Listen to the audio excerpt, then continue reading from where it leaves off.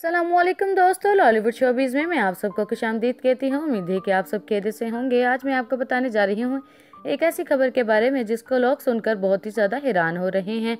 एक ऐसी एक्ट्रेस जिसने एक माह पहले ही शादी की है और साथ ही अपने बच्चे की तस्वीर भी शेयर कर दी है, जिसको लोग देख बहुत ही ज़्यादा तनकीद का निशाना भी बना रहे हैं और बहुत ही ज़्यादा हैरत अंगेज हो रहे हैं कि ऐसा कैसे हो सकता है।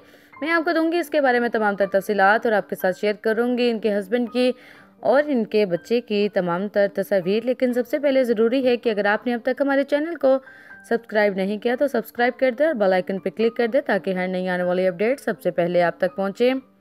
जैसा कि आप सब जानते हैं कि बहुत सी एक्ट्रेसेस ने हाल ही में शादी कर ली है और वो अपनी इस दवाजी ज़िंदगी में बहुत ही ज़्यादा खुश भी दिखाई दे रही हैं।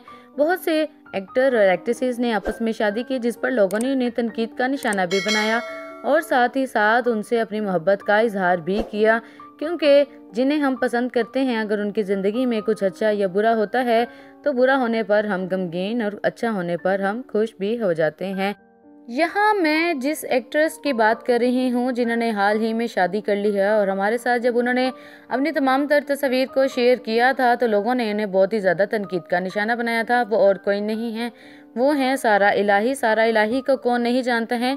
इन्होंने अपने करियर का आगाज़ टिकटॉक से किया, जहाँ से उन्होंने बहुत ही ज़्यादा मकबूलियत हासिल की। लोगों ने इन्हें बहुत ही ज़्यादा पसंद किया। उसके बाद आहिस्ता आहिस्ता इन्हें ड्रामाज में काम करने का मौका मिला। ड्रामा में इन्होंने अपने अदाकारी के जौहर दिखाए। लोगों ने इन्हें बहुत ही ज़्यादा पसंद किया। इनकी फ़ैन फॉलोइंग बढ़ती ही चली गई, लेकिन थोड़े दिनों पहले ही इन्होंने हमें अपनी शादी की खबर सुनाई, जिस पर लोग बहुत ही ज़्यादा खुश हुए, लेकिन जैसे ही इन्होंने अपने दुल्हे की तस्वीर को शेयर किया तो लोगों ने बातें करना शुरू कर दी कि शायद इसने पैसे की वजह से शादी की है।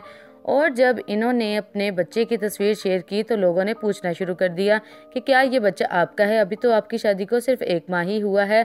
तो इस पर उनका कहना था कि ये उनके भतीजे की तस्वीर है और वो हमें दुबई में सैर करती हुई दिखाई दे सकती हैं। और साथ ही साथ उनका कहना था कि मैं अपने शोहर के साथ बहुत ही ज़्यादा खुश हूँ।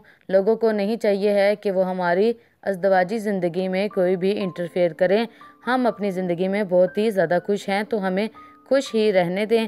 तो आप सबकी क्या राय है कि क्या हमें किसी की ज़िंदगी में दखल अंदाजी करनी चाहिए या नहीं? हमसे अपनी राय का इजहार ज़रूर किया करें। मिलती हूँ एक नई वीडियो के साथ। तब तक अपना ख्याल रखिएगा। अल्लाह हाफिज़।